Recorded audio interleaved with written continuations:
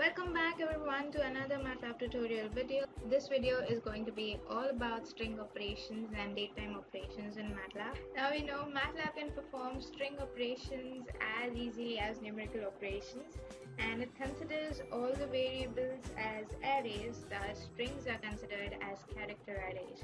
So let's get on with it. I'm going to discuss a few string functions, string operation functions that I use in MATLAB, the basic and the easy ones. Uh, for that, we'll first have to initialize our string. Let's say it's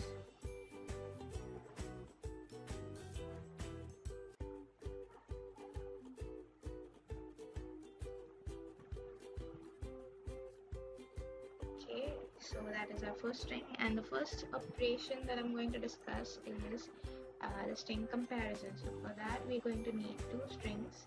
Let's make the string case sensitive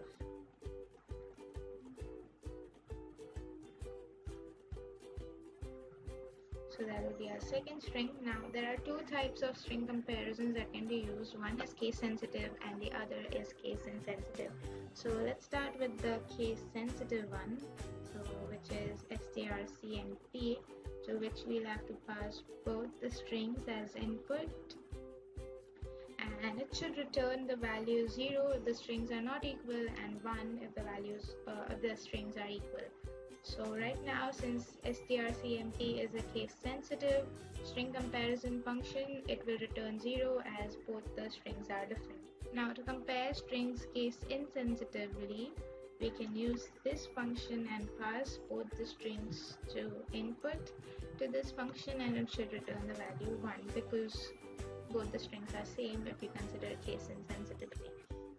Another function that is used to perform string operations is isspace which will find out the position of all the spaces in that string. If we pass the string to the input of isspace, it should return 1 in the position of all the spaces in the string. So that is the output. Similarly, to find the position of all the letters in the string, we pass it to isletter and it should return 1 in all the places of the letters in that string. Now a string is this.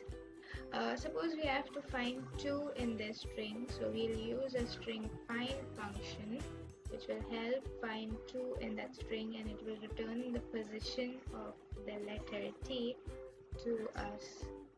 Okay, so let's pass the string and let's pass the 2 that we have to find and we get the output 9 that is the position of t that string. Now suppose we have to replace this 2 with something else. Let's say um, to with capital letters. We can use strrep to replace the 2 in the string to this.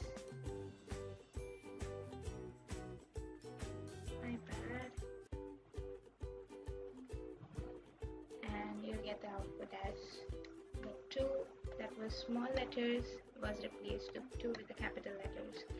Uh, so this will be it for string operation functions in MATLAB. Uh, as I said before, I'm going to discuss a little bit about the date and time operations in MATLAB, so let's get on with it. The first function I'm going to discuss is the date and time function itself uh, which will return the date and time of the time you specified.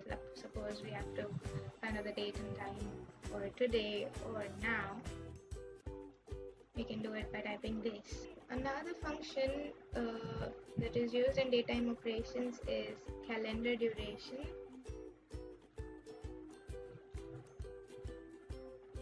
Now this duration, uh, this function is used to specify uh, the year, month, and the day of the specified uh, input. Let's say it has a format of Y, M, and D, uh, wherein Y is the year, M is the month, and D is the day.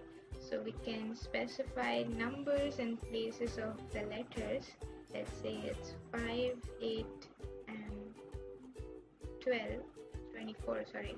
Uh, it should return 5 years, 8 months, and 24 days so this is how it's done as another function uh, which can be used to differentiate uh, uh, the years months and dates into different arrays for that specify uh, initialize t as the date time for for today. Uh, and um, let's pass this t to ymd so it should return the value of the year month and year month and day.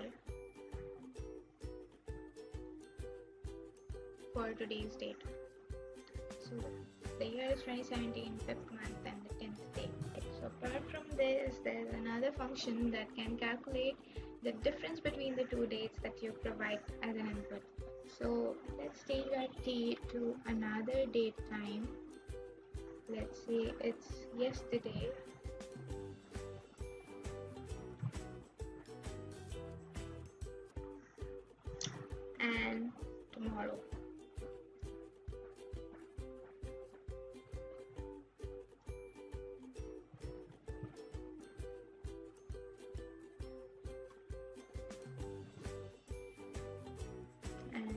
it as one array. So that will be our t. And caldiff is the function that is used to find the difference between the two days that are initialized in t. So let's pass t to caldiff and it should give us the difference that is two days. So that is it for the date time operations. This concludes my video for the MATLAB tutorial regarding string operations and datetime operations. If you have any queries, post it in the comments down below. If you guys want us to make more of such videos, please leave your suggestions for topics you find difficult to understand or implement in MATLAB in the comment sections and we will try to make it. Don't forget to hit the thumbs up button if you've enjoyed the video and or subscribe if you haven't already. Bye bye.